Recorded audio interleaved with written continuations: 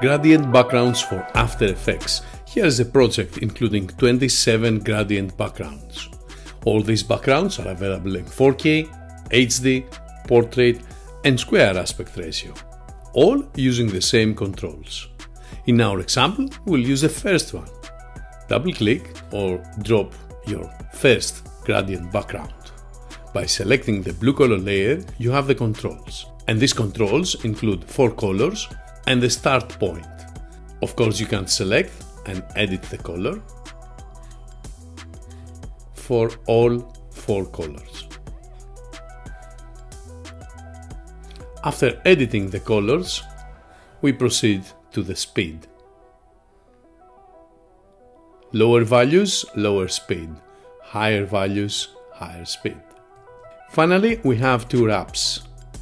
Wrap number one and two wrap methods, and wrap number two and two wrap methods as well. Here is the first wrap using method 1 and method 2. And then we add our second wrap and we can select the second or the first method. Then we can play with the direction control.